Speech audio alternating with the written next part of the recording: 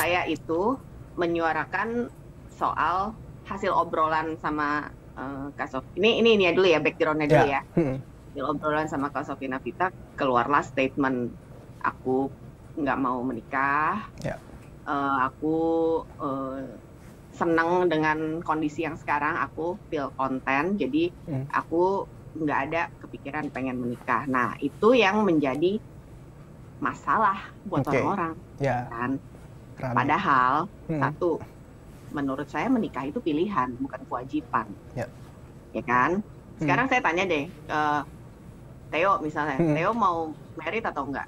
Kalau aku mau Nah, ya Hmm. kan? Itu kan pilihan. sesuatu yang dari hati, Betul. ya kan? Kalau misalnya belum mau juga ya nggak apa-apa, itu kan pilihan kita. Nah, karena ini menurut orang Indonesia mungkin tidak umum ya, apalagi Betul. perempuan. Betul. ya kan?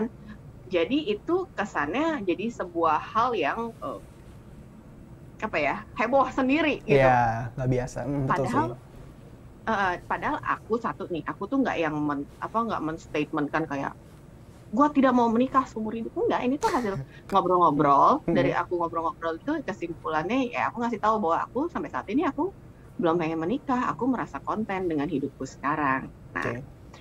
tapi yang menjadi masalah adalah pada saat orang menyuarakan eh, sesuatu nih, ini berdasarkan aku nih, Ya. yang aku suarakan ini adalah hidupku nih, bukannya gue nyuruh orang-orang lu semua mendingan jangan nikah. Ya, Kalau itu jelas salah, ya hmm, kan? betul. Aku tidak pernah mengajak orang untuk seperti aku.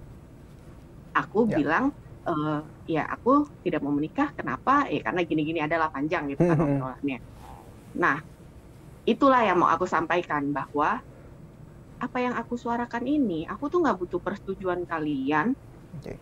karena satu nggak ada nggak ada hubungannya sama kalian ini hidupku kok aku yang ngejalanin aku tahu resikonya tapi Hmm. aku akan siap dengan resiko itu kenapa karena ini keputusan aku sendiri bukan Betul. keputusan orang lain kalau misalnya aku belum pengen menikah nih tapi karena aku mikirin nih orang-orang sekitar nih yang ngomongin terus nih kalau Hmm. nggak mau merit dan segala macam terus akhirnya aku memutuskan menikah hanya karena Ya.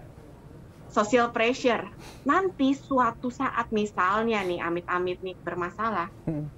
aku jadinya nggak bisa bertanggung jawab atas keputusanku sendiri kenapa karena kan itu emang keputusan orang bukan keputusan lo Ya, betul.